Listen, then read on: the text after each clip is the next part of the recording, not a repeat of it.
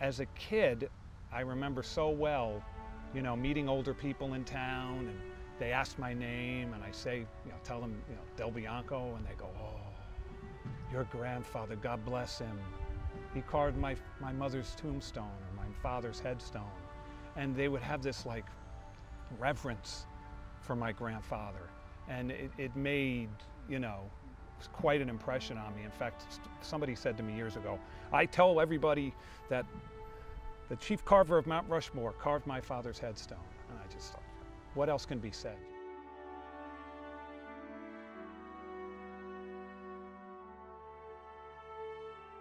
I could remember uh, being that same age and whenever Mount Rushmore would come up on the television on a commercial or an image of it anywhere, my older sisters or my parents would say, oh, Grandpa did that. And I remember thinking, wow, he did that? he carved, he, you know, I just remember, but I didn't quite put it together until I was in second grade and I found um, this old yellowed brochure about Mount Rushmore from the 30s. I had incredible documentation about my grandfather and that Mount Rushmore, very politely, has been uh, refusing to acknowledge that that documentation, you know, is more than enough proof to give him credit and recognition as chief carver.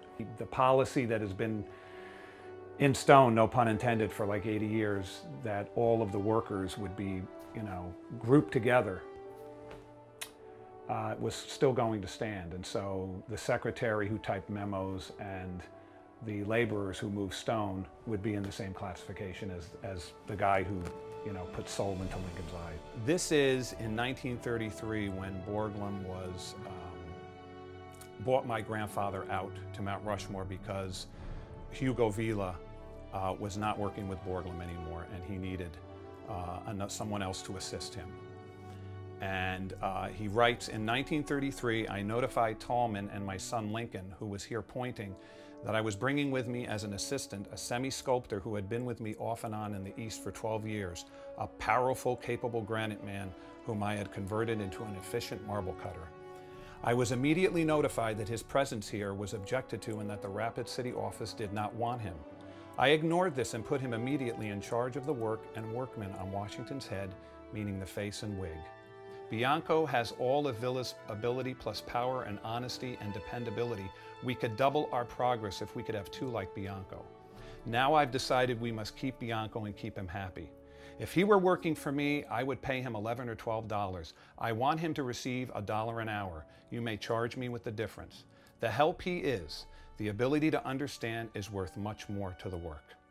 When he was uh, feeling a little stronger on certain days, I would help him out of bed, this little five-year-old kid, and he would take me into a room and he would show me this, this bust of himself, a self-portrait that he did out of white Carrara marble.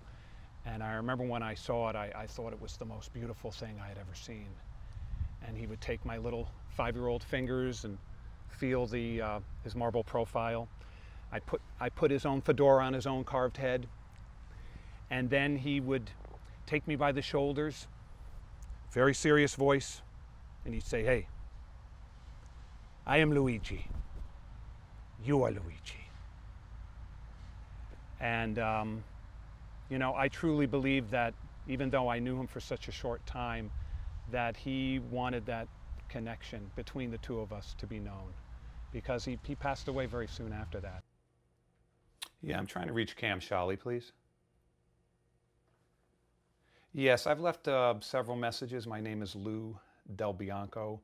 I'm the grandson of the chief carver, Luigi Del Bianco, and I have some you know, really important information I want to share with Cam. I just got off the phone with Cam Sholly. He is the director of the Midwestern region of the National Park Service. So I explained to him as much as I could, you know, what my family's been going through and what their reaction has been.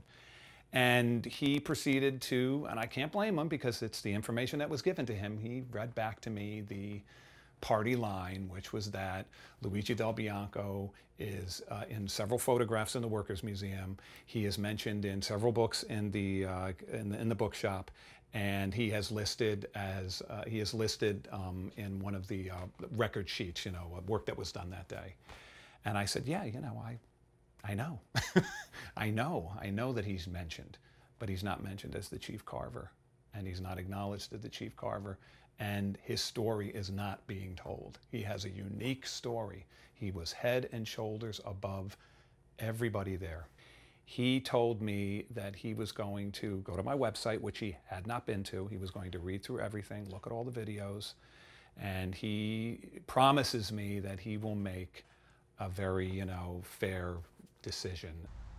I remember when my mother told me about my grandfather, I was so excited that I opened up that booklet and I started looking for him. You know, I just every every man that was on the mountain in those photos. Oh, is that him? Oh, no, that's not him. He's too small. Oh, wait, there's the hat he's wearing. Maybe that's the hat that I put on his uh, carved head. No, that's not it. And just poring over the booklet over and over again and just realizing that he's not there. So I couldn't find him. And uh, I didn't realize at the time, as a seven year old, that I couldn't find him because he was hidden.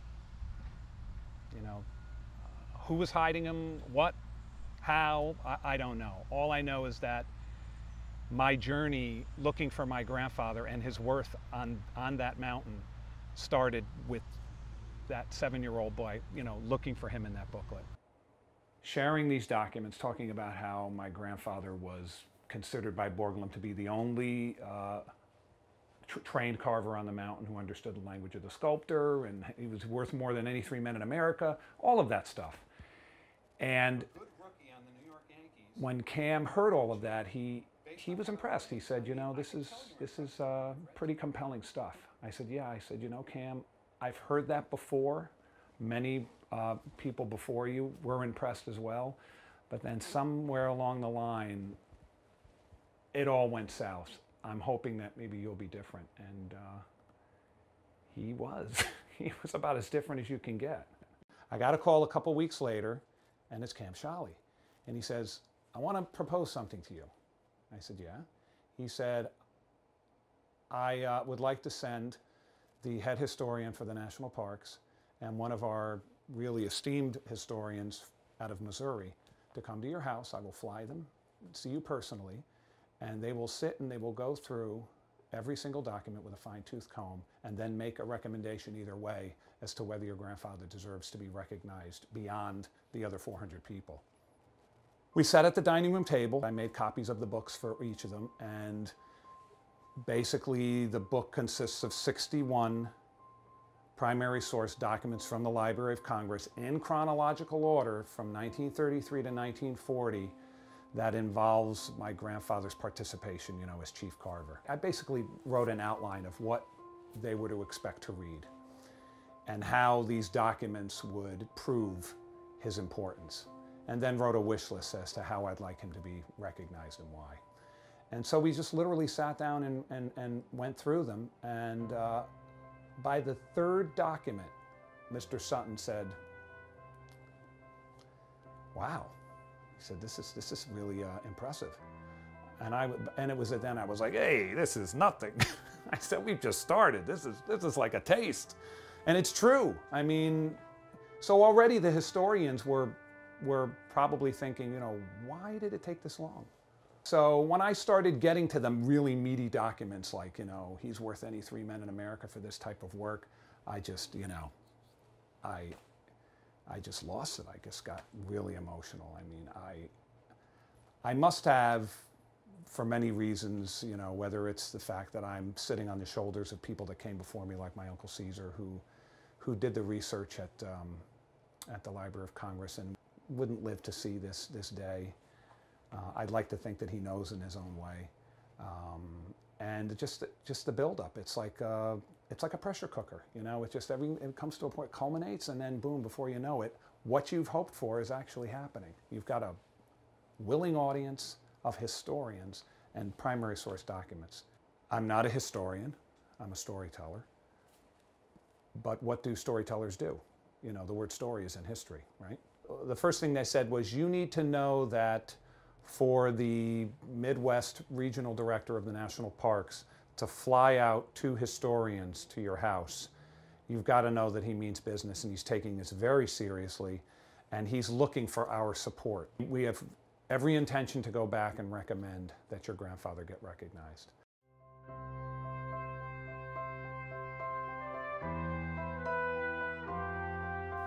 Congress has given us an incredible mission. We protect some of America's greatest places and we tell America's most important stories. Memorial represents the perseverance of the American spirit. An incredible team, 400 men and women over a 14 year period. If you think about it, during one of the darkest points in time in American history, the Great Depression, truly uh, the epitome of a team effort. And since everybody in here has been on a team at one point or another, you also know there are key players that play pivotal roles on a team at every, any given point in time. And Luigi was a key player in an incredible team of players here at Mount Rushmore. As Americans, we can be very proud of what this memorial stands for.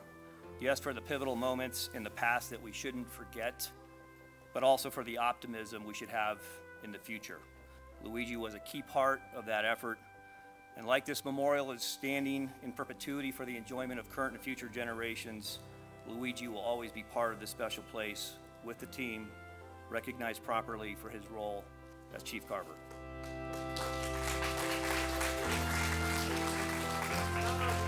Good morning to Mount Rushmore, in the greatest country in the world, the United States of America.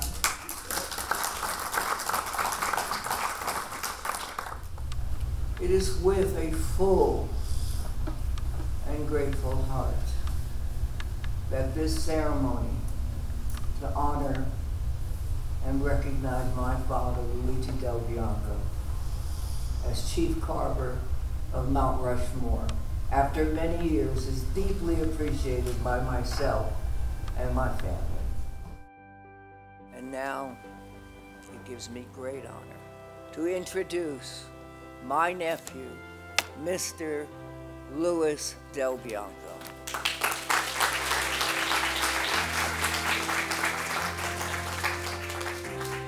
Finally, I'd like to thank my grandpa, who, when I was born, insisted that I be given his name. Grandpa, I did not know you well, but I will never forget your Roman face, your long, sinewy hands, and your tired voice beckoning, Come, Luigi, give your grandpa a hug. I'm ready to do this. Thank you.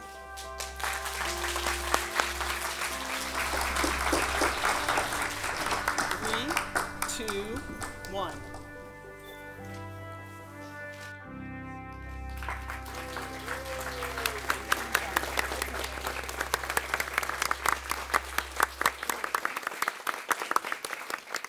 When it finally comes together, the reward is just so sweet. So right now I'm just feeling the sweet reward and just sweet gratitude. Gratitude. Someone was forgotten and now he's been found. He's changing American history in a very important way. He was a chief carver on Mount Rushmore. He was my grandpa. I mean, that's all, that's all I can think of it.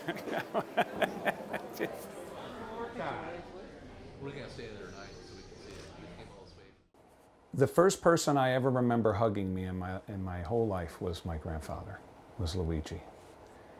And when I'm unveiling that plaque, I feel like it's my hug back to him. And I feel like this is my way of embracing him uh, and letting him know that even though I knew him for a short time, that I've always loved him and was proud of what he did and that this whole journey was so worth it, so worth it. So it's a hug. It's a I am Luigi, you are Luigi.